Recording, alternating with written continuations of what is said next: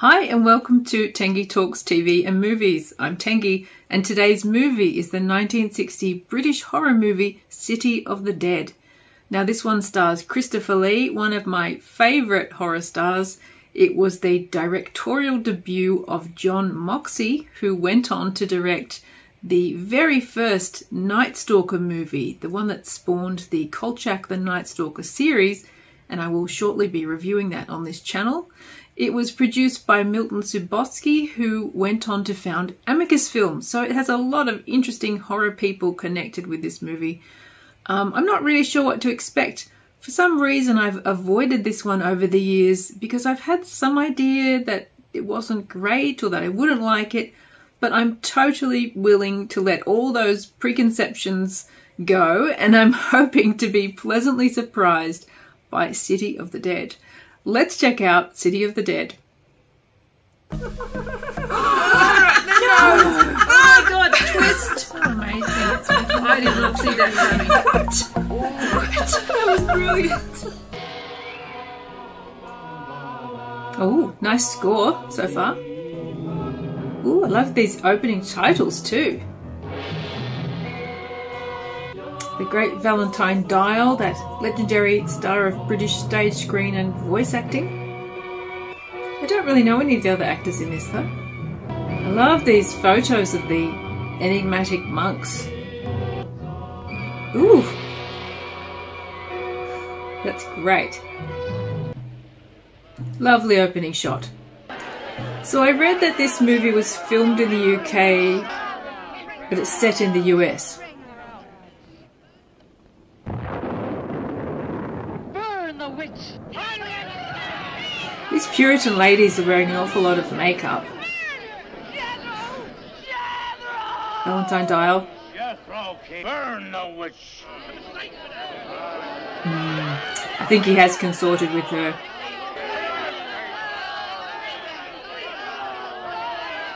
Why are they running the film backwards? it just looks weird. Help her, Help her. So Jethro the Puritans imploring Satan to help her. Maybe more than one witch in this city. Her!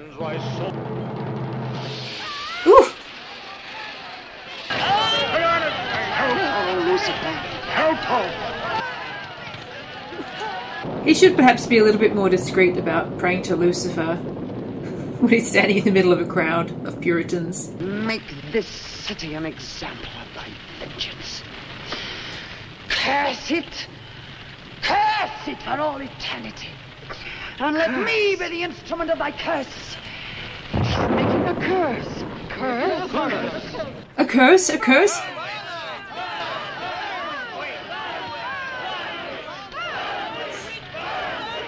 Get the impression these um, extras have been told to shake their fists because a lot of them are doing it. in New England, superstition, fear, and jealousy drove the Puritans to accuse their friends and relatives of consorting with the devil. Raiding around huge bonfires, repeating vindictive chants, they consigned the poor creatures to the flames. You The gotta love Christopher Lee. out in agony as the flames mounted higher and higher. Burn, witch! Burn, witch! Burn, burn, burn. Can you imagine taking a class with Christopher Lee on witchcraft? I can't think of anything better than that. Since you chose to attend these lectures, I had hoped that it was in a spirit of scientific curiosity about the subject. He's really bringing the brooding intensity to this role. This is quite an office Christopher Lee's got. Mrs. Newlands, so you just tell her I sent you. Raven's Inn, Whitewood. What's Whitewood? Now, Dick, don't be too upset, but uh, Christopher Lee's up to I'm going to something. change my plans with this. No. When I look into a microscope, Driscoll, I see bacteria swimming, fighting, existing. That's real. These witches that were persecuted and burned These English the actors uh, are pulling off their US accents with varying degrees of success. Three years later, Yeah. three years later, a new wave of blood sacrifices broke out in the village that had condemned her. The daughters of the elders who had condemned her were themselves found murdered with every last drop of blood drained from their bodies. And afterwards, people came forward to testify that they had actually seen Elizabeth Selwyn. Oh, stop. I just love the gravitas that Christopher Lee brings to the horror and even then it genre. He just sells the reality of any movie that he's in. I'm sorry. Also, super handsome. Honey, when you get to, um, where is it? No. It's just that maybe, hidden in some attic or buried in some old antique shop, there's something that might give a whole new outlook to the Oh, subject. what new outlook can there be? You're a science student, How do You know how important research is. But this isn't about anything real. This is just A superstition. lot of fueled by mansplaining going on in this movie. But suppose the women were Let her to- do her research. Suppose they really had a pact with the devil. That's a lot of mist. Uh,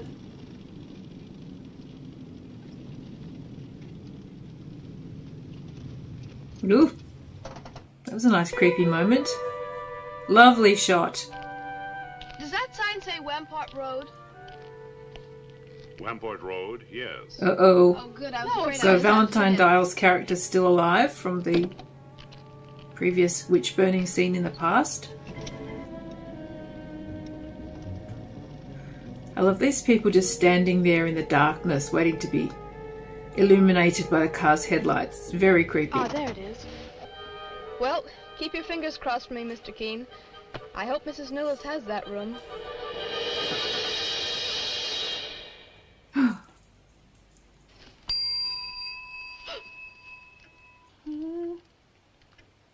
Oh, I didn't hear you come in. Are you Mrs. Newless?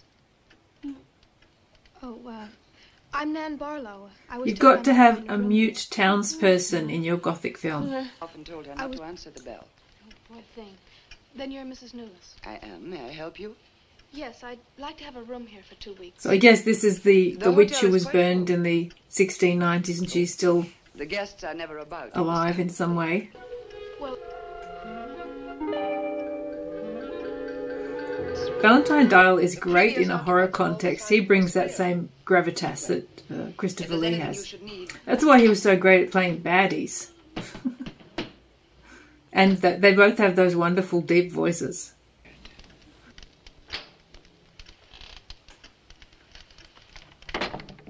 I love them as a Oh, super creepy Lewis. couple.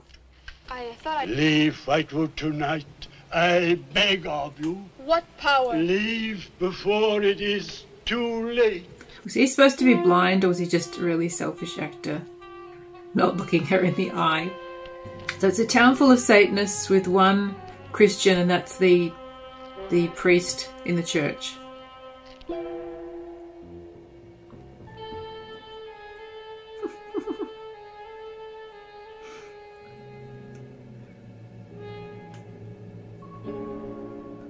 parishioners. The loss of his sight has made him. She seems very familiar. I don't know where I've seen her before though. that with him and Smoke machines working overtime in this movie.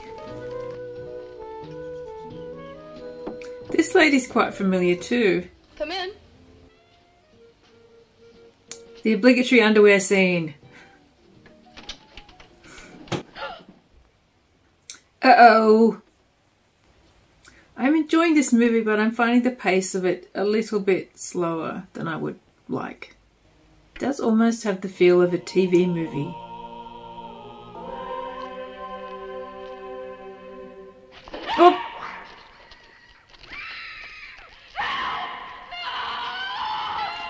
I like the use of the cobwebs in that. It did make it creepier. Here we go with the underwear again.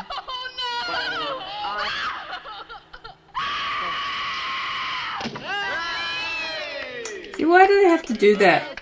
You know, so many horror film killings. You got to get the the actress's boobs out. I think the problem with this film so far as a horror film is that the stakes haven't been very high. Nan wasn't worried at all about the creepy things in the town until the moment she got sacrificed by the witches. You know, we're 40 minutes in, that's kind of I'd like to speak low to Miss Nan stakes, Barlow, I think. I've seen this lady in something just recently and it's driving me crazy. Yes, we're from the sheriff's office. Please.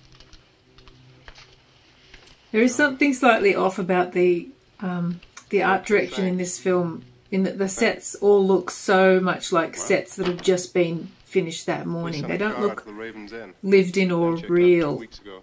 And it's hard to say exactly why. Don't hurt the bird, Christopher Lee. Nice cape. Gosh. O Lord of Light, accept this sacrifice. Ooh. No.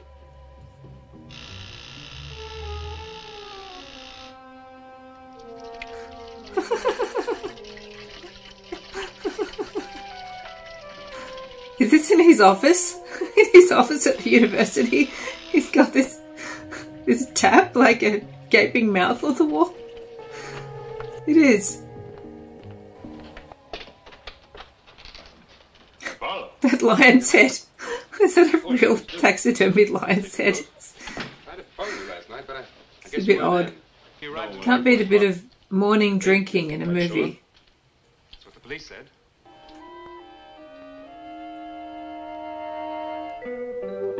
Look at that face. What a fantastic face. Nan's locket, all right.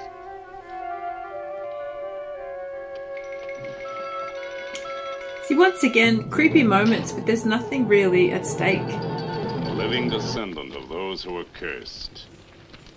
It somehow seems to make it better. And what do these two want apart from sacrificing the occasional attractive lady? The whole town is already populated by witches and devil worshippers. What more do these two want? I think that's the problem. There's no sort of objective in the film. And we've also switched main characters halfway through. I'd let Christopher Lee draw me into his witch cult, wouldn't you? Jazz flute. Gotta have some jazz flute in your horror film. What do any of these scenes achieve? All this stuff with the service station. It's not advancing the story at all. We don't need to see how they get there.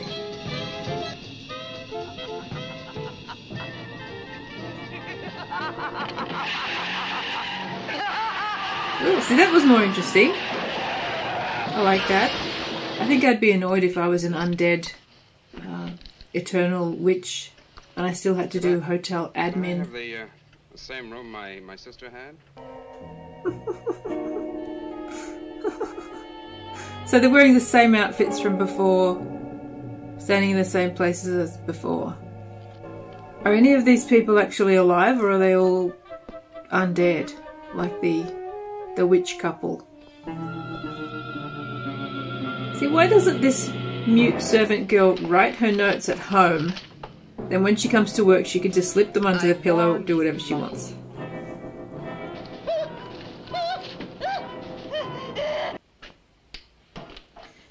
You've got to have a blind clergyman in the same way that you've got to have a mute servant girl. Blind clergyman with a haunted face. How do you do, sir? Now listen, my darling. This is their sign, the witch's sign. What can we do? We must leave here. Leave here immediately. Why has he lived here all this time if the town is full of witches and he can't do anything about it? I adjure thee, O creatures of salt, by the living God.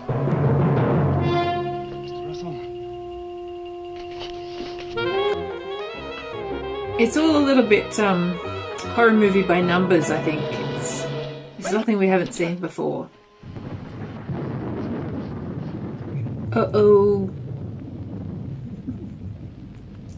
So Christopher Lee was burned as a witch as well.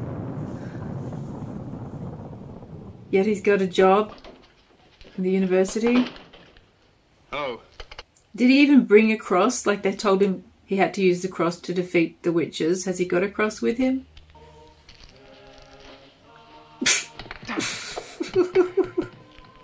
that could have been done better. I say this as someone who who has really severe arachnophobia. That spider did not scare me at all.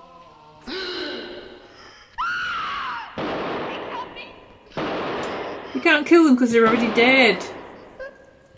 So they're dead and they drink blood. That makes them vampires, no? Why does it always have to be women who are killed for their blood? They're going to do that, they need to at least explain why.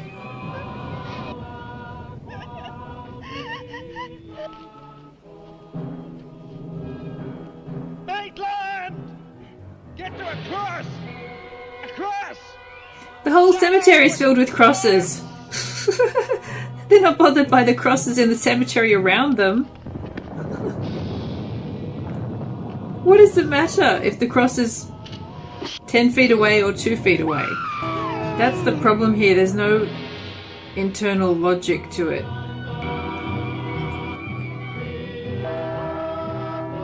See, these visuals are quite good, but Dick, Dick, he's moving.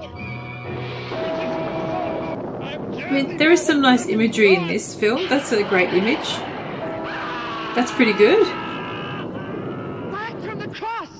Come nearer, Bill! Get the But why does the cross have to be? Why does it have to be close to them like that to affect them when it wasn't that far away before?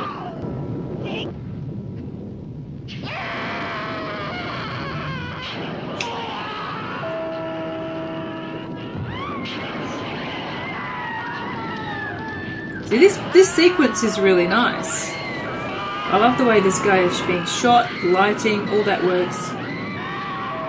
That's a nice image too. That works.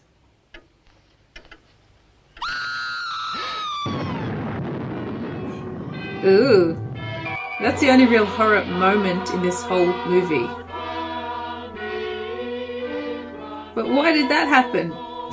why was she why was she uh, all burnt at the end? That didn't no, didn't really make sense to me.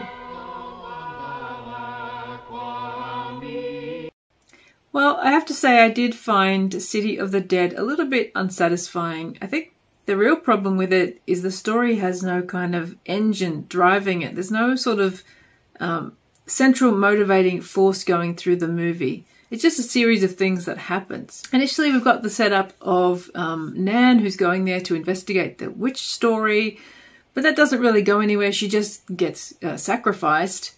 And then it all just switches to people trying to find her, but again, there's no urgency to any of it. It just sort of drifts along with no pace, no build up of any kind of tension. And the real nature of the witches, the people who are occupying this creepy village, is never satisfactorily explained either because are they all undead? That's what that's what it seemed to be at the end. And if they're undead and they feed on blood, aren't they vampires? And also trying to establish them as a an evil dangerous presence I think is difficult when all they actually do is kill one woman twice a year. The stakes are just not high enough. Having said that, there were things I enjoyed about it. I thought the cast was sensational.